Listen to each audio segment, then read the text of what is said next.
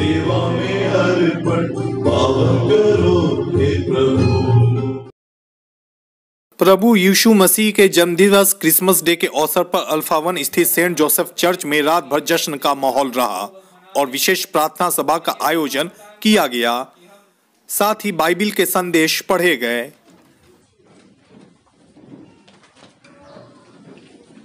हमें हमारे लिए यही संदेश दूसरों को देना है। कि बालक यीशु शांति, प्रेम और एकता लाने के लिए इस दुनिया में आए हैं।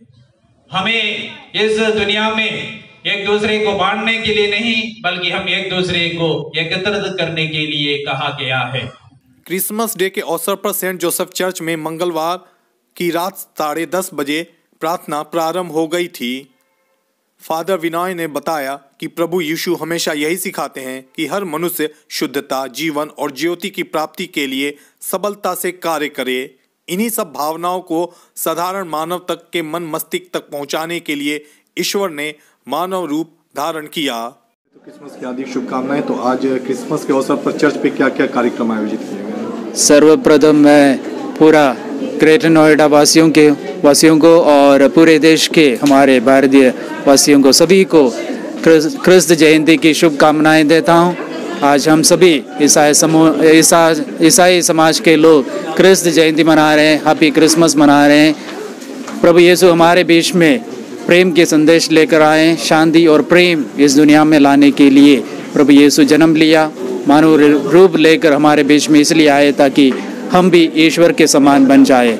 आज हमारे गिरजाघर में आधी रात को मिसा बलिदान चढ़ाया गया, प्रार्थना बलिदान चढ़ाया गया, बालक यीशु का जन्मोत्सव मनाया गया और करीब डेढ़ हज़ार लोग इस कार्यक्रम में भाग लिए और प्रार्थना किया। प्रभु यीशु से आशीष मांगने के लिए यहाँ पर आए और लोग सभी मिलकर ईश्वर से प्रार्थना किया और ईश्वर की आशीष भरपूर पा लिया है। और उसके बाद आज सुबह नौ बजे अंग्रेज़ी में मिसा बलिदान चढ़ाया गया और प्रभु यीशु के जन्मोत्सव मनाया। फिर उसके बाद साढ़े दस बजे हिंदी में मिसा बलिदान चढ़ाकर प्रभु यीशु का जन्मोत्सव मनाया। सभी एक दूसरे को खुशी एवं प्रेम बांटना चाहते हैं और हम भी चाहते हैं कि इस ग्रेटर नोएडा इलाका में शांति बने रहे और हम सभी ईश्वर के संतान के रूप में आगे बढ़े। यही है हमारा संदेश। सभी ग्रेटर नोएडा वासियों के लिए, सभी लोगों के लिए यही संदेश है कि हम सभी प्रेम और शांति से रहे और ईश्वर के संतान बने रहे। ये मेरा जीवन, सेवा में अर्पण, पावन करो हे प्रभु।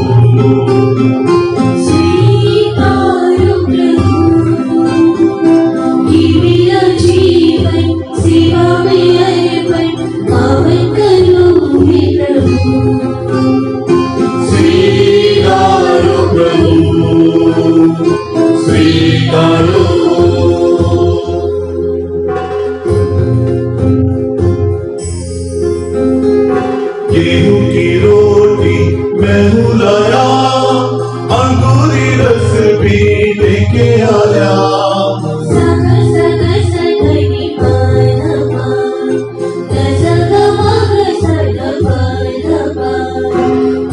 की